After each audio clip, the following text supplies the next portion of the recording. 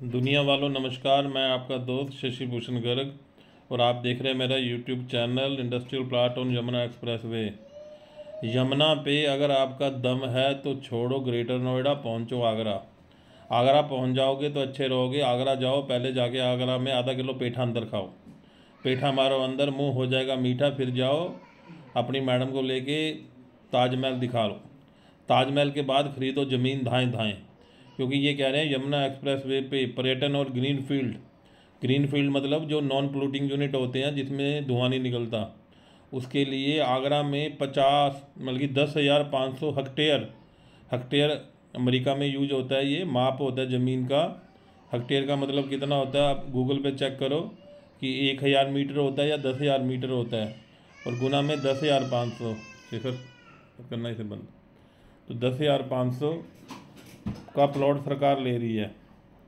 ये प्लॉट लेके उनकी ज़मीन गाँव की क्वायर करके फिर होगा आगरा का एक मास्टर प्लान तैयार। उस मास्टर प्लान में 25 परसेंट पे इंडस्ट्री आएगी 20 परसेंट पे रेजिडेंशियल सात परसेंट ताजमहल के लिए जो पर्यटक आएँगे, उनके लिए होटल पोटल अलग से स्पेशल होटल बनेंगे। विदेशी पर्यटकों का रुझान आगरा की ओर। यमुना प्राधिकरण ये कह रही है कि जब ये एयरपोर्ट बन जाएगा, नोएडा इंटरनेशनल एयरपोर्ट तो वहाँ पे आगरा पहुँचने में मात्र तीस पैंतीस मिनट लगेंगे। क्योंकि बड़ी गाड़ियाँ धाएँ से यूँ किया पहुँच गई, यूँ। क्योंकि एयरपोर्ट से आगरा का ताजमहल सौ किलोमीटर रह जाएगा। पैंसठ किलोमीटर तो जेवरी हो गया। तो सौ किलोमीटर जाने में क्या एक घंटा लगा? वहाँ जाके फिर ये अंग्रेज़ कच्छे पहन के आराम से लौट मारेंगे। तो वहाँ पे आगरा मास्टर प्लान तैयार करने के लिए एजेंसियाँ नियुक्त कर रहे हैं। और अगर आपका कोई रिश्तेदार है तो आगरा के आसपास ज़मीन खरीद लो। ये सही मौका है। अभी दो हज़ार चौबीस चल रहा है। बाद में आपको वहाँ पे ना चिड़ी मिलेगी, ना चिड़ी का बच्चा मिलेगा, ना ज़मीन मिलेगी।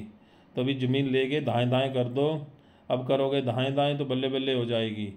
मान लो किसी के घर में आज बच्चा पैदा हुआ दो हज़ार तेईस में और दो हज़ार इकतालीस में वो बच्चा होगा आपका अठारह उन्नीस साल का। तो अगर आपने आज माल ख़रीद लिया पाँच हज़ार रुपया गज तो उस टाइम पे हो जाएगा पाँच लाख रुपया गज। तो जब बच्चा अठारह साल का होगा तो उसे प्लॉट गिफ्ट कर देना तो उसकी बल्ले बल्ले हो जाएगी। अभी दिमाग लगाओ। और किसी का बच्चा आज की डेट में बीस साल का है तो पोते का प्लान कर लो। जब बच्चे की उम्र आपकी अठत्तीस साल की होगी, पोता अठारह साल का हो जाएगा तो पोते के लिए प्लाट खरीद के रख लो। तो डॉक्टर अरुणवीर जी, जो यहाँ के मेन प्रबंधक हैं सीईओ हैं, उन्होंने कहा है कि हमारा लक्ष्य है दो हज़ार इकतीस तक तो ये सारा क्षेत्र को विकसित कर देंगे। छः सात सालों में जेवर को पूरा विकसित कर देंगे। उसके बाद फिर दस हज़ार पाँच सौ जो हेक्टेयर ज़मीन ले लेंगे आगरा के पास। पच्चीस परसेंट भूमि, हरित उद्योग हरित मैंने बताया नॉन पोल्यूटिंग ये ऊपर वाली बात नीचे लिख रहा है। बीस परसेंट रेजिडेंशियल सात परसेंट अंग्रेज़ों के लिए और सत्तर परसेंट मनोरंजन। ये शूटिंग आजकल जो लखनऊ हो रही है, फिर फ़िल्मों की शूटिंग फिर अमिताभ बच्चन, उसकी बहू ऐश्वर्या राय, अभिषेक बच्चन, सारे आपको यहीं घूमते फिरते मिलेंगे। तो दुनिया वालों ले लो। ये सारा इसलिए हो रहा है, आगरा के पास कि दिल्ली एनसीआर के पास पोल्यूशन बहुत ज़्यादा हो गया है। अभी जो ये जमुना प्राधिकरण यहाँ पे प्लॉट बेच रही है, ये नॉन पोल्यूटिंग यूनिट है। पर फिर भी आगरा के पास भी नॉन पोल्यूटिंग बेचे जाएँगे, क्योंकि आपको याद होगा कि आज से बीस साल पहले ताजमहल काला हो गया था तो सारी फैक्ट्रियाँ वहाँ बंद कर दी थी।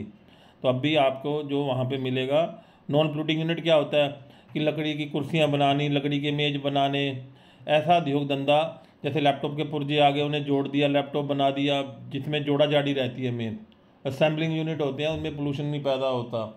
तो ये सारे यूनिट आएँगे छोटे छोटे तो ये आप वहाँ पे अभी भी कोई गाँव में जाके ज़मीन खरीद लो, लाल डोरे वाली तो आपकी बल्ले बल्ले हो जाएगी। अगर लाल डोरा नहीं, खेती की खरीदोगे तो मुआवजा तगड़ा मिल जाएगा। और अगर आप खेती की ज़मीन खरीद के उसमें मंदिर बना लो, मस्जिद, गुरुद्वारा बना लो तो जगह वो रुक जाएगी। फिर बाद में मंदिर के चारों तरफ़ दुकानों काट के बेच देना तो बल्ले बल्ले हो जाएगी। ये लोग करते हैं। बल्कि मैं मैं ये नहीं कह रहा हूँ, जो समाज में चलता है, मैं तो वही जानकारी दे रहा हूँ कि जब लोगों को दस पंद्रह साल पहले खबर लगती है कि सरकार ज़मीन एक्वायर करने आ रही है तो वो अपनी ज़मीन जो गाँव के साथ होती है, उसे दान कर देते हैं, मंदिर मस्जिद बना लेते हैं। पर उसका कंट्रोल उन्हीं के पास रहता है। फिर वो कहते हैं, ग्रेटर नोएडा एयरपोर्ट से आगरा जाने में बढ़ेगा क्रेज। फिर जैसे मान लो, जब एयरपोर्ट बन जाएगा, अंग्रेज़ आ रहा है अपना दोस्त लंदन से यहाँ उतरा तो दिल्ली वाला भी कहेगा, मैं भी वहीं आ जाता हूँ यार एयरपोर्ट पे, नोएडा पे, वहीं से आगरा चले जाएँगे।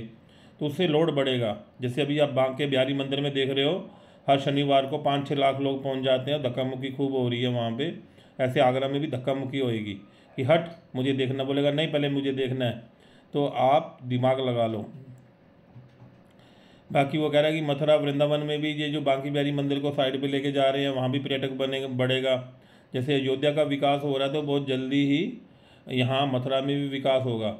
आपने वो नारा सुना हो गया कि अब मथुरा की बारी है, अयोध्या की तैयारी है तो अयोध्या की तैयारी के साथ साथ मथुरा की भी चढ़ाई शुरू हो रही है तो वहाँ भी मामला सेट हो जाएगा। तो ये कह रहे हैं कि वहाँ पे एक हज़ार एक सौ उनतालीस गाँव हैं, जिसमें गौतम बुद्ध नगर, बुलंदशहर, अलीगढ़, हाथरस, मथुरा, आगरा के शामिल हैं और एक हज़ार जो ये गाँव हैं, इनमें से चार चार सौ पंद्रह गाँव मथुरा के हैं। थ्री फिफ्टी एट हाथरस के हैं, एक सौ इकतीस गाँव गौतम बुद्ध नगर के हैं नाइन्टी फाइव गाँव बुलंदशहर के हैं, बानवे गाँव अलीगढ़ के हैं और अठावन गाँव आगरा के हैं। तो किसी की भी इन गाँव में कोई सेटिंग हो, रिश्तेदारी हो, बहू, बेटी, ब्याही हो तो आज ही फ़ोन मार लो कि भैया हमारे लिए पाँच बीघा, दस बीघा जितनी गुंजाइश है, सौ मीटर, पचास मीटर, पचास गज, दस गज, बीस गज लेके रख लो। तीसरे चरण में होगी आगरा की बात। कि अट्ठाईस नवंबर को मीटिंग होगी, उसमें और जानकारी मिलेगी कि आगरा में कब काम चालू करना है।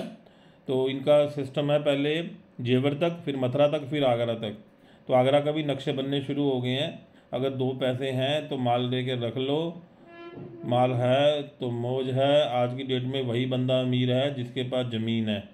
नहीं तो भैया, जय श्री राम, धक्के खाते रहो, सीखते रहो, सिखाते रहो। मैं आपका मित्र शशि भूषण गर्ग, कोई भी जानकारी चाहिए हो इस क्षेत्र के बारे में मुझे फ़ोन करें nine eight seven three seven zero eight six four two.